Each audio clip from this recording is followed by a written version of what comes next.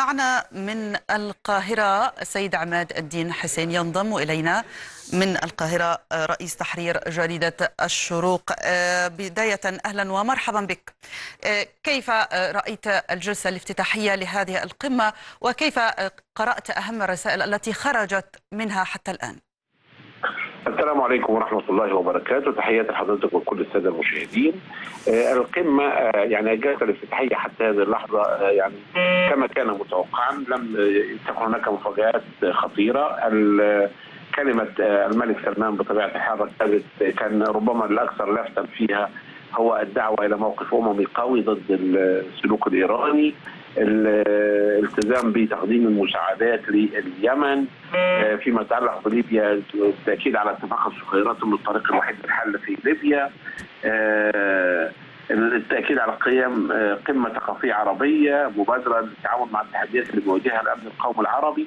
والملفت في النظر أظن في ليس فقط في كلمة الملك سلمان ولكن في كلمات كثيرين هي الاهتمام أكثر بالقدس وإطلاق اسم قمه القدس على هذه القمة كما جاء في كلمة الملك سلمان ليعلم القاصي والداني أن فلسطين في ضمير الشعوب العربية.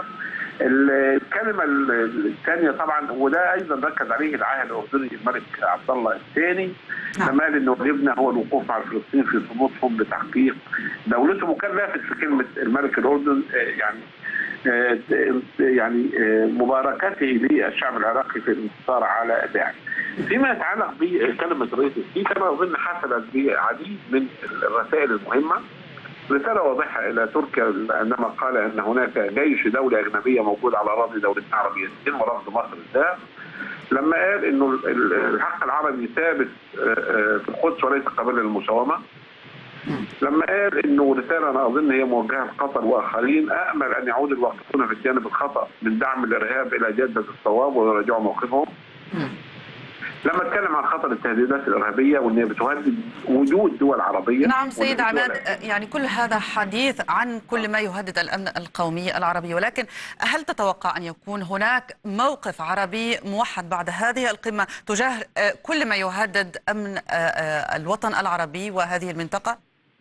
أتمنى أن يحدث ذلك لكن للأسف الشديد الصورة على أرض الواقع صعبة جدا سيكون هناك بيانات جيدة وتوصيات عظيمة تشير إلى ذلك لكن لا أتوقع أن يتم ترجمتها على الأرض بالنظر إلى التباينات الشديدة بين بعض الدول العربية والدول الأخرى فيما يتعلق بالقضايا العربية الأكثر يعني صعوبة كما هو الحال مثلا في القضية أو الأزمة السورية.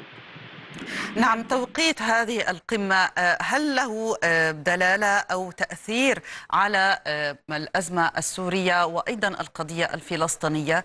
وخاصة أن هذه القمة التي جاءت هي أول قمة بعد إعلان الرئيس الأمريكي ترامب باعتبار القدس عاصمة لإسرائيل.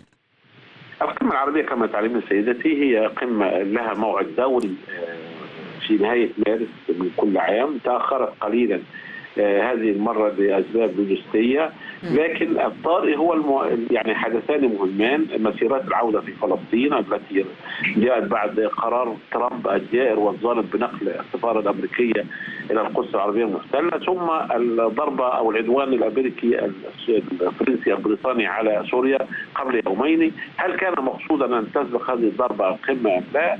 للأسف الشديد هناك استهانة عالمية كبيرة جدا.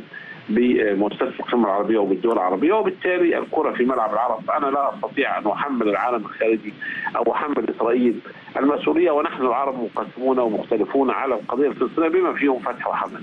نعم سيد عماد الدين حسين رئيس تحرير جريدة الشروق المصرية شكرا جزيل الشكر.